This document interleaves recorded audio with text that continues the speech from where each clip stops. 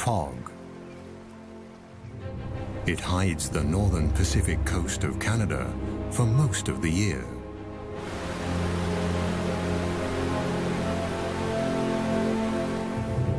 This is the Great Bear Rainforest, a forest full of mysteries and wild creatures.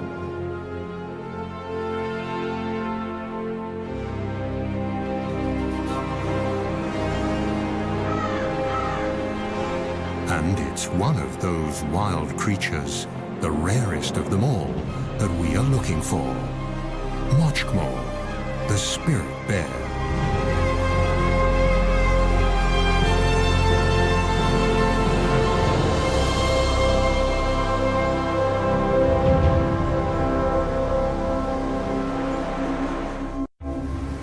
There are no roads in the Great Bear Rainforest.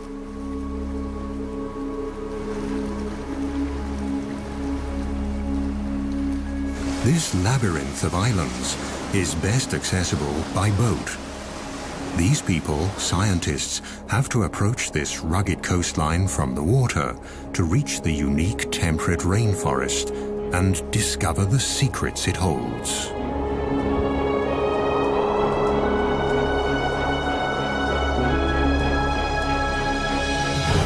Few regions on our planet produce as much biomass as this rainforest. It's the world's largest and most productive temperate rainforest and thrives along the west coast of Canada.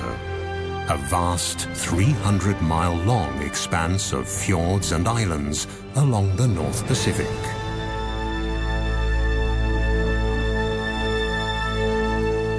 Since time immemorial, these islands and forests have been home to Tsimshian nations of the Gitga'at community. The Gitga'at believe that they are one with the land, the forests, and the ocean. In their world, the animals are their brothers and sisters, and the time when the last ice age covered the west coast of Canada is also a part of this legend.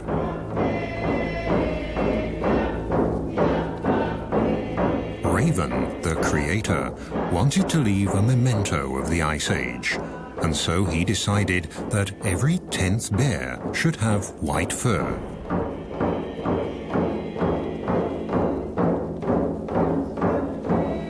This, they say, was when the spirit bear was created, the white bear of the rainforest. To this day, these bears live deep in the forests, on the islands and along the wild rivers of the northern British Columbia coast. Only very few people have been lucky enough to catch sight of one.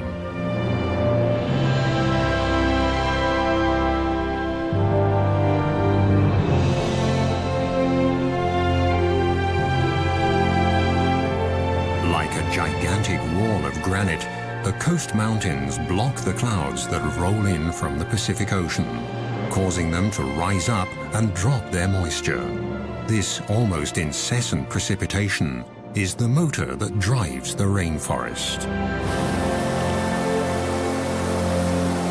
A motor that never stops and never falls silent.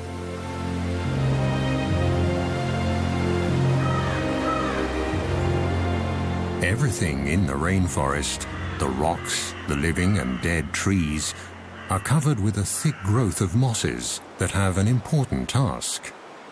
They hold the moisture in. In this way, they keep the forest humid and cool and stabilize living conditions for all animals. In the temperate rainforests of the north, biomass doesn't decay as quickly as in tropical rainforests. The destructive organisms here are slow and need a lot more time to do their work. Yet this rainforest is more productive than those in the tropics.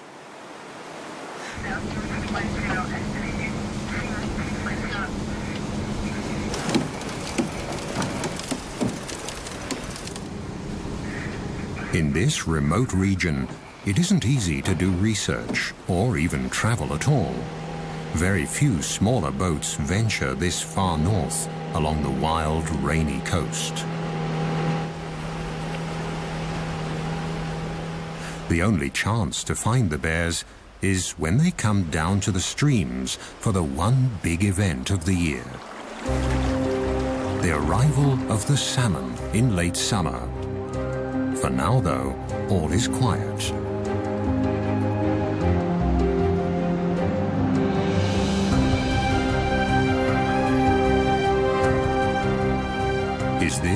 Quiet before the storm?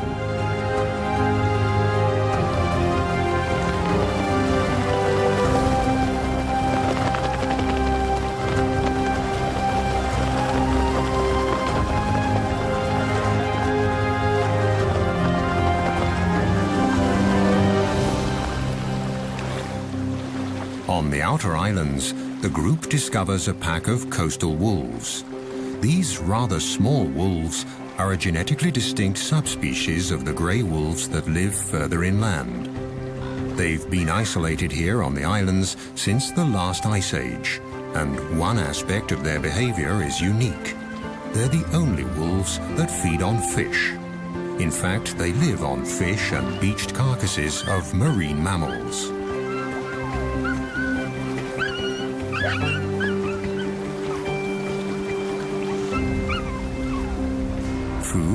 Also attracts other hungry visitors.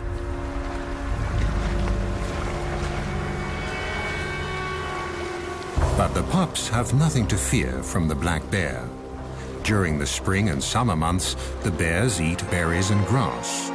And they move slowly to save energy because there are not enough nutrients in the grass to help them gain weight. The river otters living on these islands have also adapted to the salt water. The bear is no threat to them either. They're quick and clever.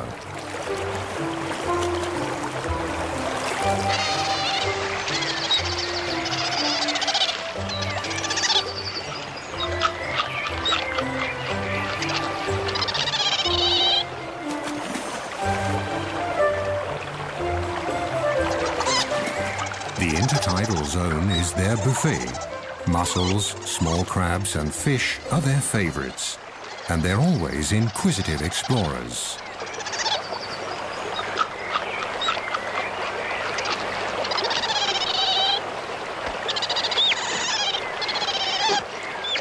The ravens, the heralds of the rainforest, announce a visitor.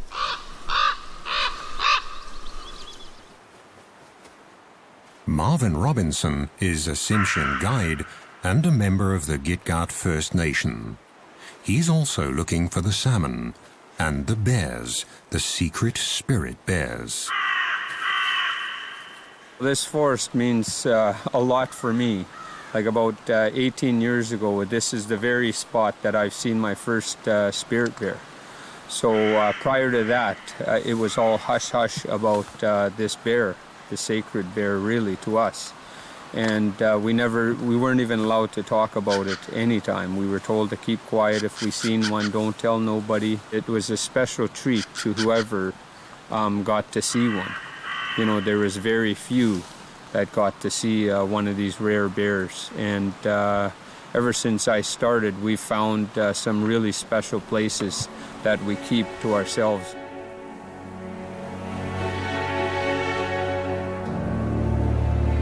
And indeed, the places here are special. On the outer islands, waves and winter storms have created magical beaches. Most of the islands in the Great Bear Rainforest are rocky and precipitous. Wide estuaries and shallow coves are rare. But the steep cliffs also offer food. Here, with a little luck, a visitor could get a first glimpse of the mystic animal the experts are looking for the famed spirit bear, one of the rarest animals on Earth.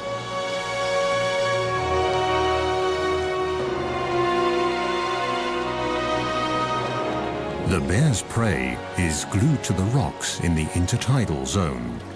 Barnacles grow in the cold waters of the North Pacific, and at high tide, when they're covered with water, they look almost like animals from another world.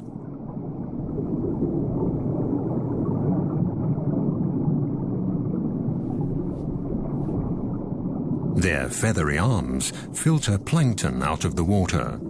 It's hard to believe that these little creatures are related to crabs.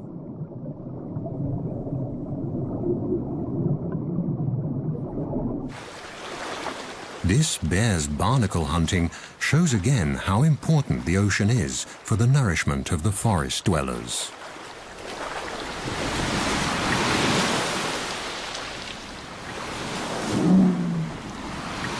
And there's enough nutrition to feed even the largest animals that roam the waters, the whales. At low tide, barnacles and mussels are exposed along the rocky shores. Their shells are closed tight. For the spirit bear, detaching them from the rocks is no problem, and the reward is a very tasty snack.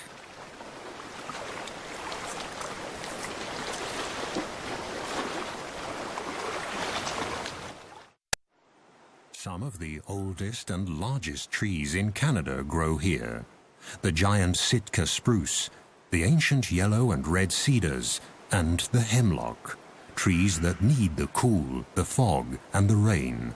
They are the foundation of the temperate rainforest.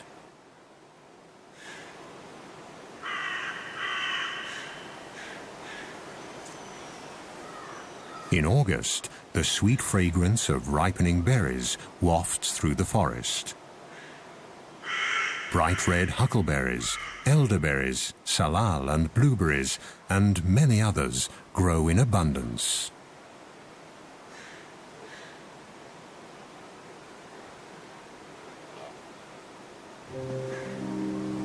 For the bears, the berries are a crucial staple to tide them over the leaner months of the summer before the salmon arrive.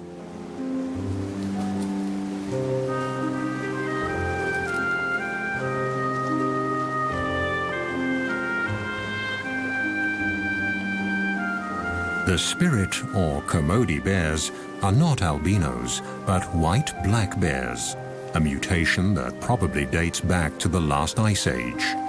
And between the rocks and the trees, white is a good camouflage. The bear's sweet tooth also helps the bushes to spread. They pass up to 400,000 seeds per day in their droppings. Thus, the plants colonize new territory.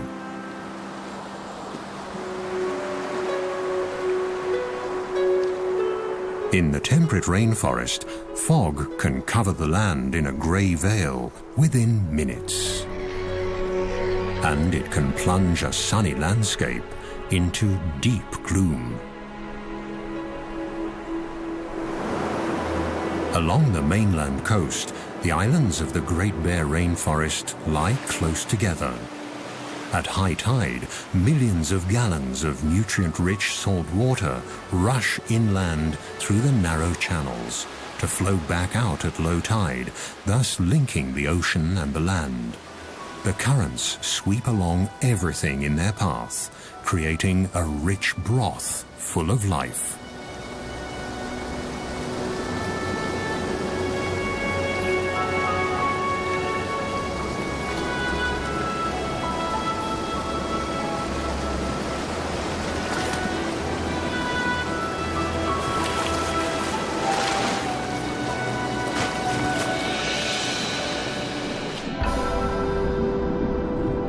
August, huge schools of young fish migrate into the waters between the islands.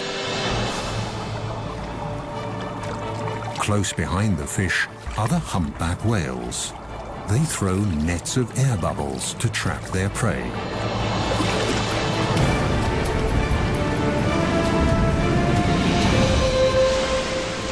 Success. Thousands of fish are caught in their gigantic mouths. Their baleens filter krill and fish out of the water. Again and again, the whales will feed for days. But Mother Nature is prepared and sends a constant stream of fish north along the coast and into the archipelago of the Great Bear Rainforest. They all get their share, large and small, young and old. This is the land of milk and honey, the Galapagos of the north. The productive zone extends far below the water. The species here are not as numerous and varied as in a tropical coral reef, but the vibrant colors and the sheer size of the underwater organisms can easily measure up to the tropics. Deeper down, among colorful mollusks and cold water corals, the ocean harbors another secret of this region, a life form from the age of the dinosaurs. A glass sponge. The intricate and beautiful structures of this 300 million year old organism are made of glass and very fragile. The rivers and streams of the Great Bear Rainforest wash sediment into the ocean constantly, and the nutrients slowly sink down and feed the coral. Its red branches that can thrive in this 6 degree cold water are the perfect hideout for small crabs and fish.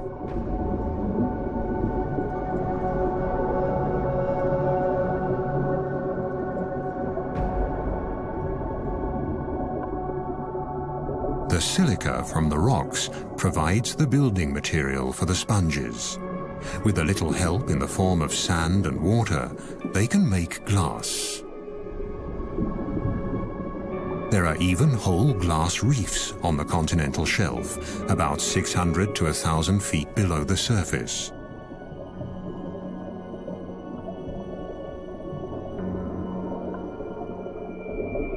These ancient organisms build complete reefs, powered by nutrients and runoff from the rainforest. High above the reefs, a female humpback is playing with her calf. Thanks to the rich feeding grounds, the little one is growing fast. In a few months, when they leave the cold waters and head south, they'll need all their strength.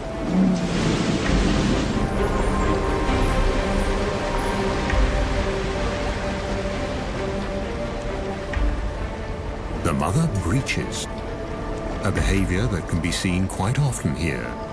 Nevertheless, it's a spectacular show.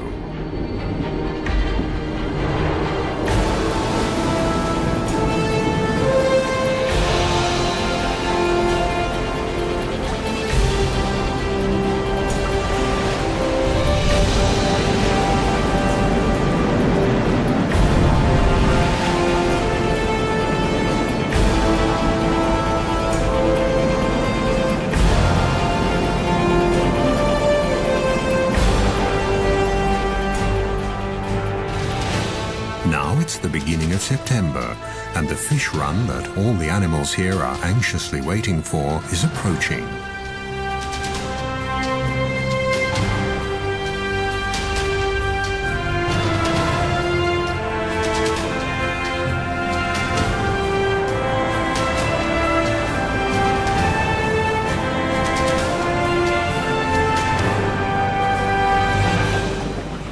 The group steers the boat west to the edge of the open ocean, where a colony of sea lions await the fish on windswept islands at a safe distance from bears and other predators.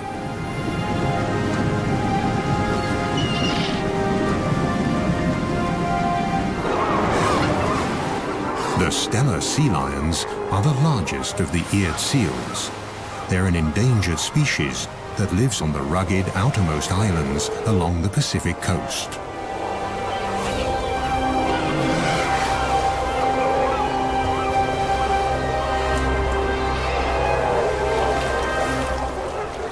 The strong, territorial males can grow to a length of more than 10 feet and weigh up to 2,500 pounds. Each of them has a dozen or more of the much smaller females in its part of the colony.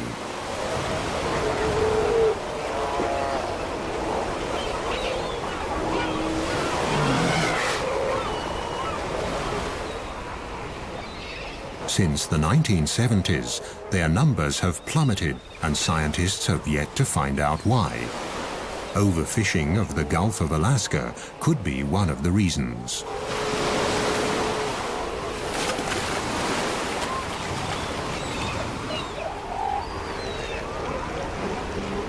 The weather turns. The first heavy rain of approaching autumn triggers the epic fish run. After two years in the ocean, the salmon are now returning to their birth streams.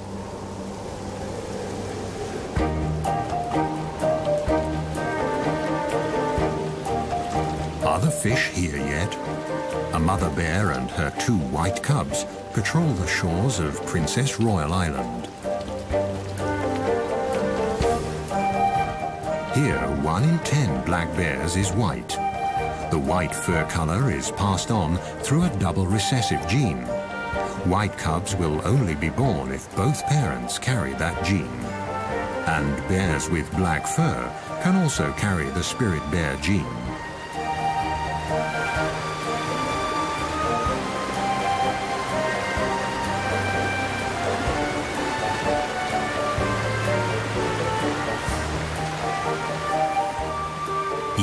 Eagles and river otters are the first to discover the approaching salmon run, which they are awaiting impatiently at the mouth of the river.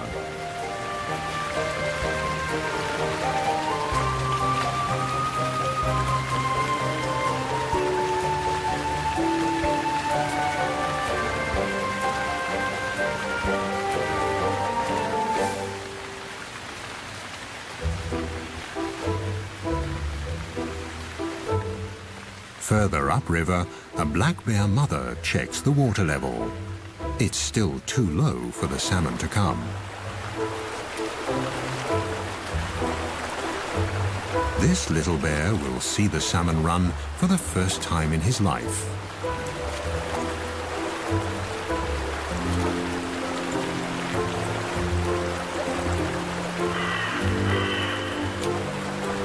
It won't be long now. It's early September, and the time has finally come for the big feast. Eagles and bears, sea lions, otters, even the trees are waiting for the arrival of the year's biggest single source of nutrition.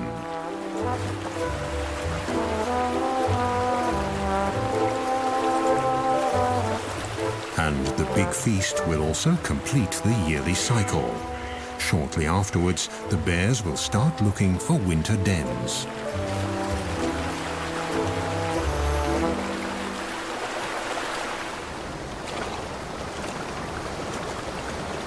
Bear tracker Marvin Robinson is hopeful. The rivers are rising. He's checking for clues on the islands as well as on the mainland.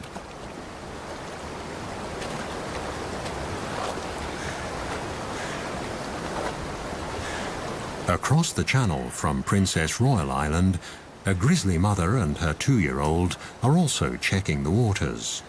Grizzly bears live on the mainland, leaving the islands to the black bears.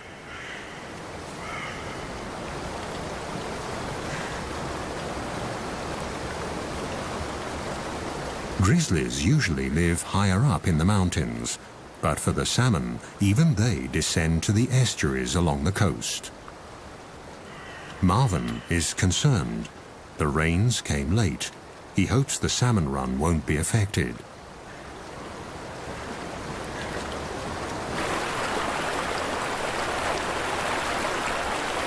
Now, at last, the water levels are rising.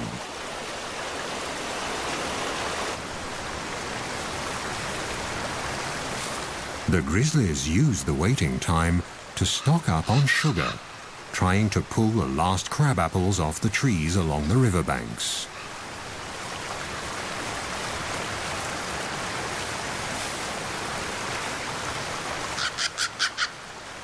For the mother bear and her young, this will be their last winter together.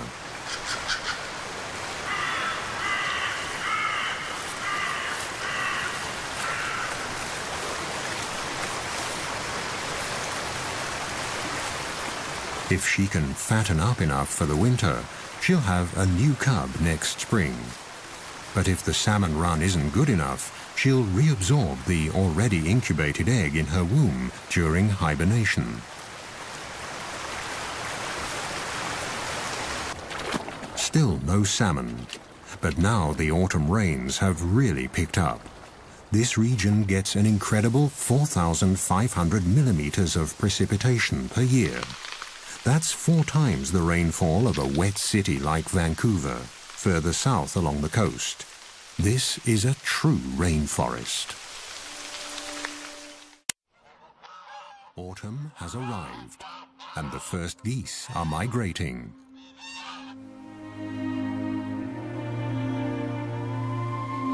Finally, the water level in the rivers is high enough for the salmon to migrate too. They'll return to the self-same waters where they were born, among the gravel banks upstream. At 12-hour intervals, at high tide, new waves of hundreds of thousands of fish will rise in the river deltas on the coast and make their way up the streams.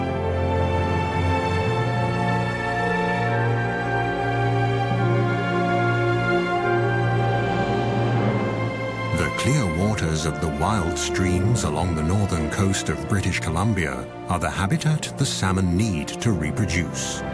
In this fish run, humpback and silver salmon are returning, swimming up the rivers until they taste their birth waters.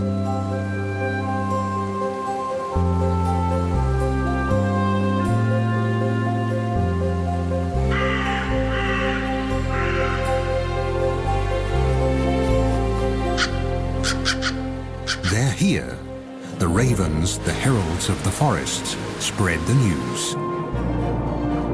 It takes stamina and blind determination for the fish to get to where they have to go. It's now or never. This is their only chance to reproduce. But the predators are already lining up. From the seagulls to the otters, they all want their share. For the animals of the Great Bear Rainforest, the waiting is finally over. Now it's time for fish and caviar.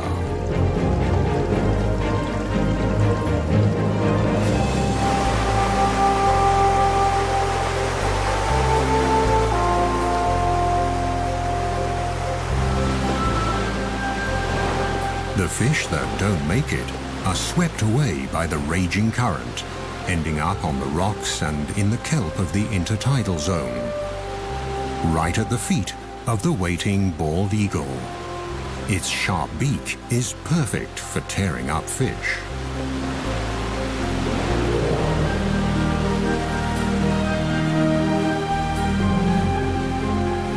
The gulls will get their fair share, but here on the Rain Coast, the bald eagle is the true king of the skies. On the verge of extinction only a few decades ago, these magnificent birds have made an amazing comeback.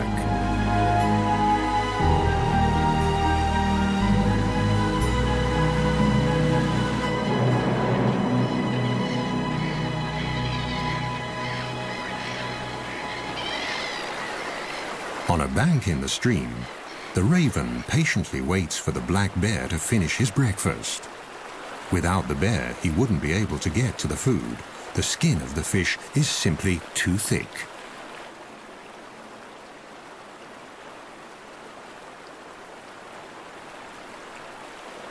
Come on, haven't you had enough yet?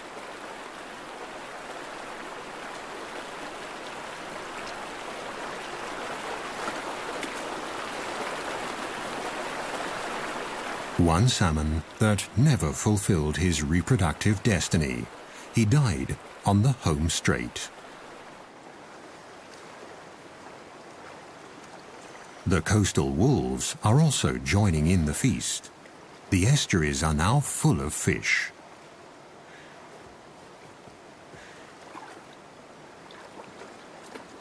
The youngsters are still learning the tricks of the salmon trade. They follow their mother and she tries to teach them.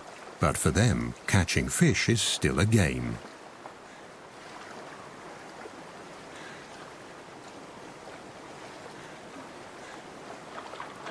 In the shallow tide pools, it's easy to see and grab the salmon, which are tired, in fact almost exhausted from their long journey.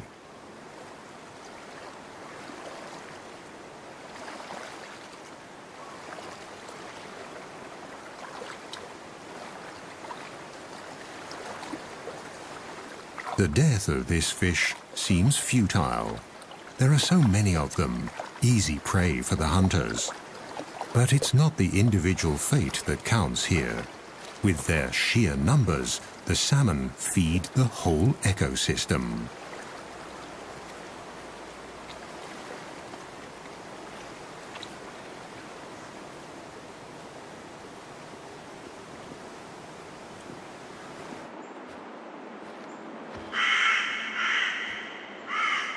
Further back in the forest, Marvin often finds leftovers. Sometimes the wolves carry the fish deep into the woods. The wolves don't consume the whole salmon. They only eat the, uh, the brain. So they carry the salmon off and maybe a little bit further up the sides of the valleys and stuff uh, because there's a parasite in uh, salmon that if the wolves get it, it could uh, kill them.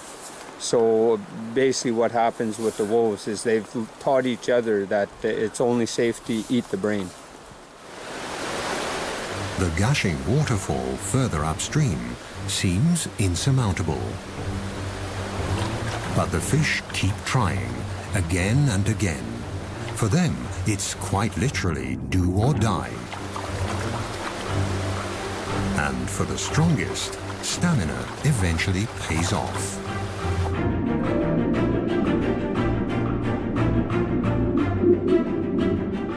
Salmon was born here three years ago. Now it has returned to its birthplace to spawn, in perfect sync with all the others of its generation.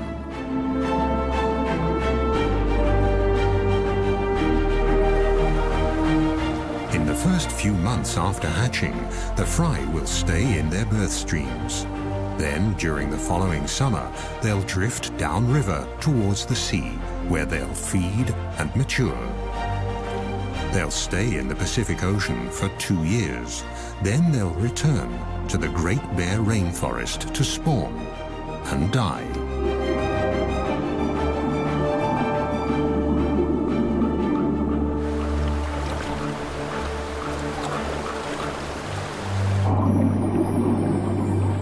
In a rush of hormones and wild abandon, the fish become oblivious to their surroundings and their predators.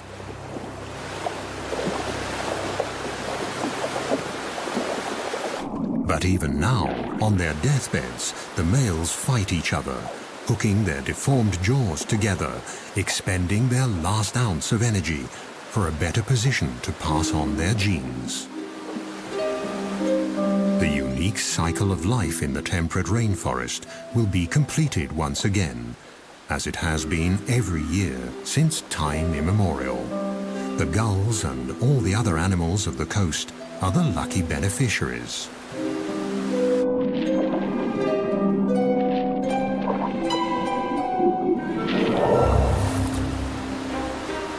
Foraging has become an easy task for the bear as well. The fish are in a daze, without much perception of their surroundings.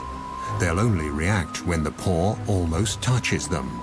And jump is not an option anyway.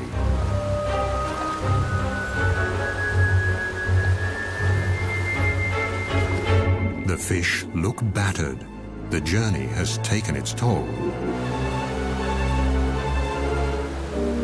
Now the bears can afford to pick and choose. This spirit bear even leaves a half-dead male salmon, discolored by fungi that have developed on its return to fresh water. The females that are still carrying their eggs taste much better.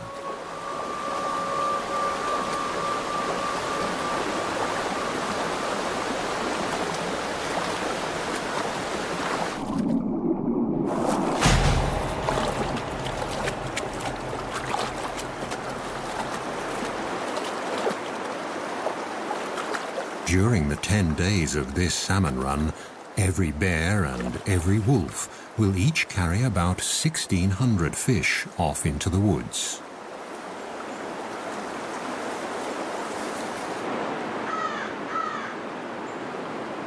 But it still isn't easy to find the spirit bears. Even for experienced trackers like Marvin, who take researchers and visitors to these streams it's a special treat to watch the white bears during the salmon run. So far, they've only seen black bears and squirrels.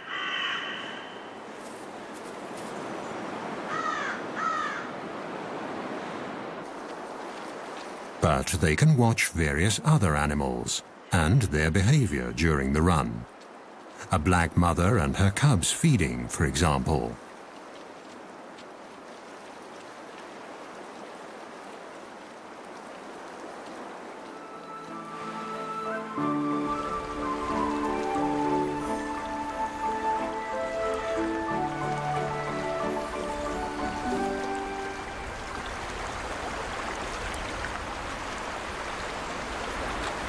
Let's see how to get to the fish.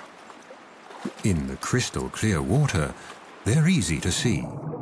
And they seem tired enough, so they should be easy prey.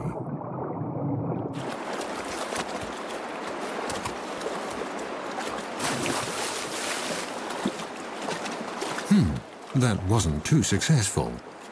The cub might need to practice a bit to become an expert in salmon hunting. Marvin, the tracker, has been walking the creeks for days now. Then, suddenly, there it is, Moksgm'ol, the prodigious spirit bear, one of the rarest animals on Earth, and one of Mother Nature's miracles, right in front of his eyes.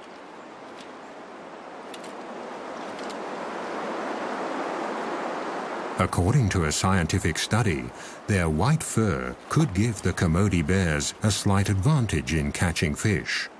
To a salmon, the fur might look similar to a white cloud. A black shape would be more threatening. Marvin prefers to believe the legends, that the fur is a memento of the Ice Age. And the cloud hypothesis isn't proven anyway. In lean years, the white fur might make a difference. But at the peak of a good salmon run, no bear, whatever its color, has any difficulty catching fish. The bears almost work themselves into a feeding frenzy. During the rest of the year, the white and black bears rarely mingle. But now they all converge at the prime spots on the streams.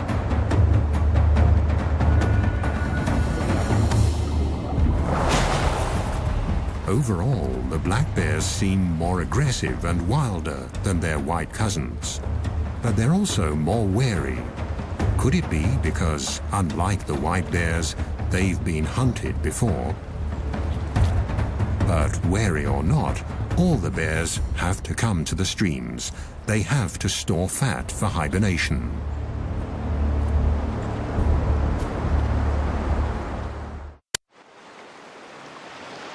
There has been enough fish here for man and beast for thousands of years. For the Great Bear Rainforest, it's a matter of survival.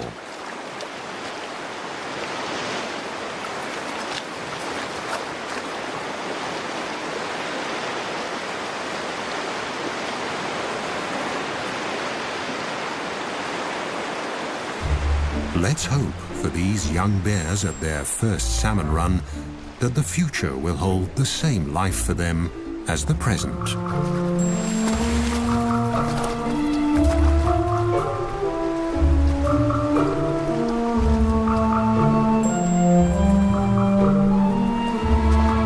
According to native law, the black bears discriminate against their white siblings.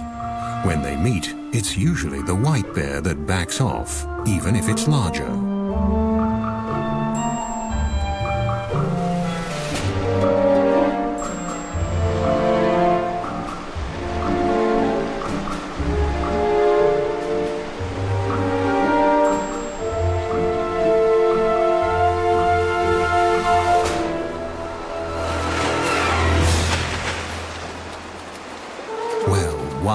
Fish for the road should be all right. There are so many of them. But the envious competitor is watching. And so the spirit bear withdraws.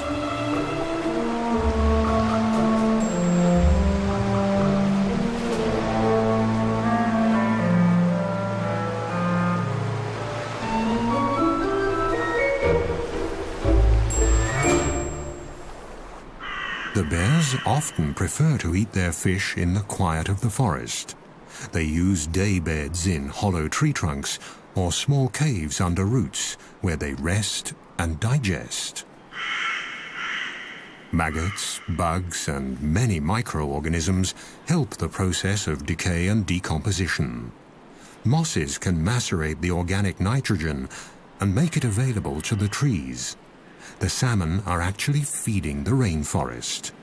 The thickness of the tree rings alone can show which years were good salmon years.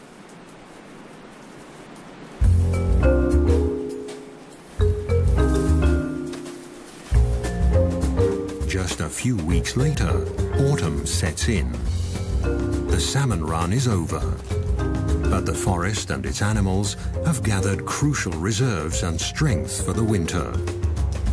Now it's time for some of the smaller ones to stash away seeds and other winter provisions.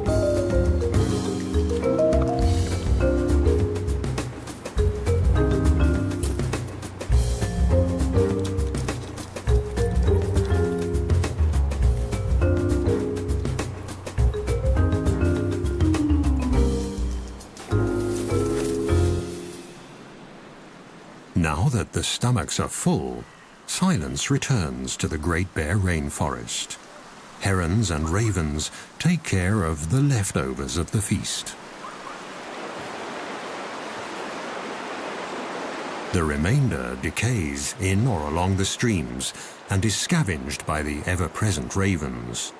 Whatever's left is swept into the ocean and becomes fertilizer, feeding the krill there. Nature almost seems wasteful, but this brief overabundance has a deeper purpose. The carcasses pass nutrients on into the water. This is their last gift to a new generation of salmon. Thus, the end of one fish run lays the foundation for the next. The parents make the ultimate sacrifice for the sake of their offspring. This cycle, already many thousands of years old, is the motor that drives the entire ecosystem of the temperate rainforest along Canada's northern Pacific coast.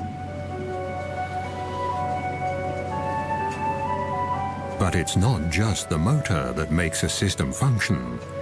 Only if all the individual parts are in place and in the right place will the rare and special life forms along this coast survive.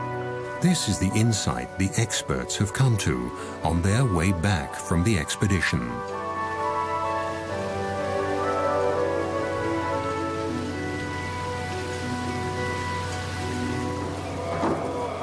It's a lesson the people of the rainforest learned a long time ago. Their songs and icons tell of all the creatures of the forest and the ocean. But the spirit bear is the one special animal the iconic species that symbolizes the spirit of the rainforest.